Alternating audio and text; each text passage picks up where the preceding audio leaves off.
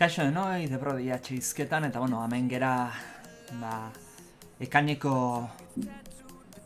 ekaineko ez barkau, ustaieko bazkideen zozketarekin, eta, bueno, beste hilabete bat, ez dakit ja zemagarren edizioa den hau, ez da, enez gogoratzen buru zemagarrena, baina ja, bastante dira.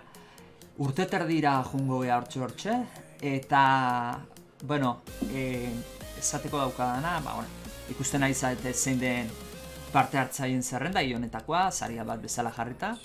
Eta zozketain aurretik gogoratuko izuet beti bezala nola funtzionatzen duen gauzak. Gemerauntzian bazkide egiten zara amar euro ordainduta, eta amar euro horrek, bueno, bazkidetza sistemak urte beterako irauten dizu, hau amabi hilabeterako, eta amabi hilabete horietan, adibidez, eh, bazkideen jolasaren zozketan parte hartu dezakezu, naiz eta baten hilabete batetan irabazi urgoan ez zozketan sartzen zea, hau da irabazi dezakezu, kasualitatea izango ditzake bi hilabete zidotan irabaztea, baina bueno.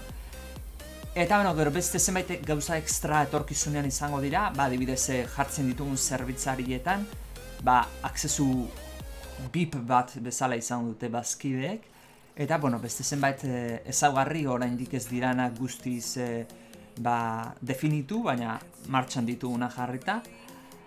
Eta espero unak leizter izatea ba, eskura zat.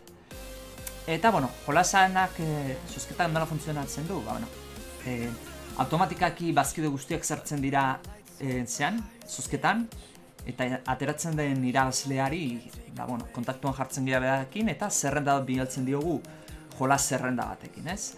Jolas zerrenda horretatik eh, bat aukeratu behar du. Jolasak eh, PC-koak dira. Kontsolakoak ez ditugu eh, erabiltzen ze, kontsolakoak bat digitalki izin dira bidali, eta hori arazo handia da, ze fizikoki bidaltzeak, eh, bidaltze gaztuekin da, asko garestitzen dira, eta haina normalean kontsolako jolasak eta bueno, fizikoa geroztea askoz gareztea izaten da digitala baino. Eta, bueno, ba, bueno, zerrenda horretatik hartzen du jolas bat, eta, bueno, guri izaten digu eta gu bidaltzen digu. Ez badauka guztokorik, ba, presio muga jartzen diogu eta besteat aukeratzen du. Eta, bueno, besterik gabe, zozketari ekingo diogu, sorte hon guztioi, eta ean orden irabazlea.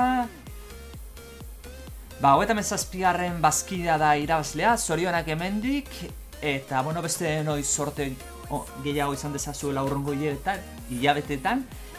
Eta besterik gabe, hemen agurtzen naiz, zurrungo ikusiko dela, ale, agur...